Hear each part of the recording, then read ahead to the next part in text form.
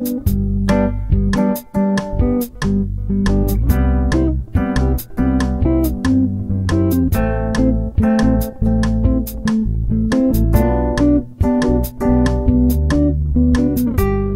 welcome to the command center. I want everybody to feel comfortable and at home. So, as the name of the video said, uh, what will happen come fall and winter this year? I guess that is the big number one question. And once again, this is Survival Preparedness for Beginners, and I welcome you to my channel. If you haven't been to my channel, you're new to my channel, you're just watching one of my videos for the first time, uh, do me a favor, hit that like button, hit subscribe, hit that little bell, and you'll get notified every time that I do a video. So let's get back to the, I guess to be the question at hand, um, is what will happen come fall and winter with everything that is going on. Now there's a lot of things that are going into play in this. Um, one, you have the Charlie Victor 19 that's going on. That hasn't gone anywhere. Um, as if everybody probably remembers, uh, back when this first started, they were all talking about how when summertime would roll around and with the heat, it would kill the virus off like it does the flu. Well, obviously we're not dealing with the flu virus. Didn't take a rocket scientist to figure that one out.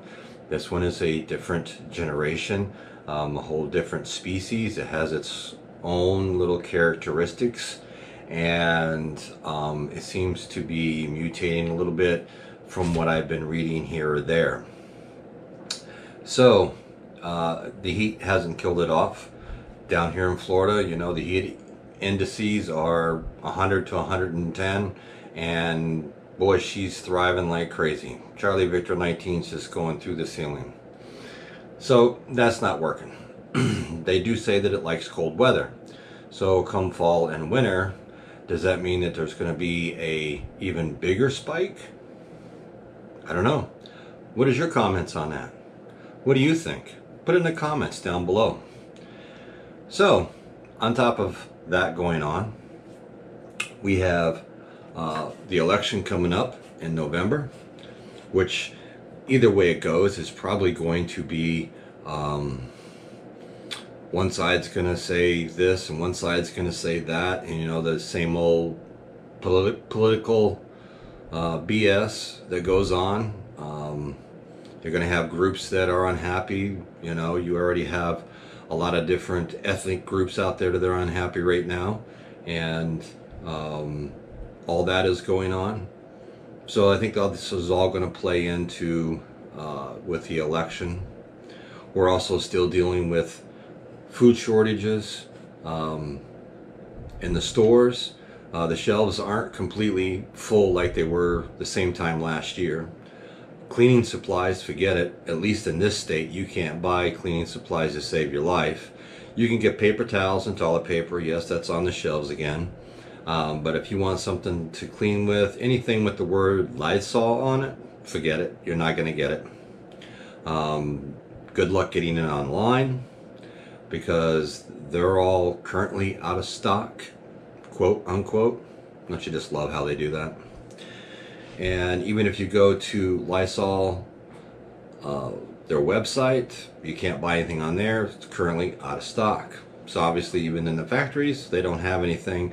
But I think on the other hand, um, they're more willing to sell to the big corporations than they are to the American people. So they're probably mass producing all their products to give to or sell to all these huge um, corporations and hospitals and things of that nature and we get whatever is left which is nothing at least down here.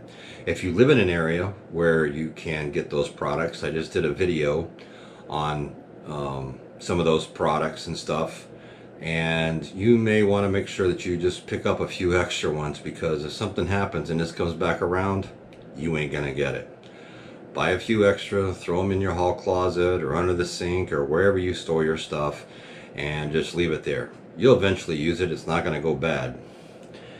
So there's a lot to play into this coming fall and winter. Um, luckily the Saharan dust so far this year coming off of Africa has been really active and very thick, and it's suppressed a lot of storms. Now, how long this is going to last for, you know, we're coming into the third week of July right now, and it can't last forever.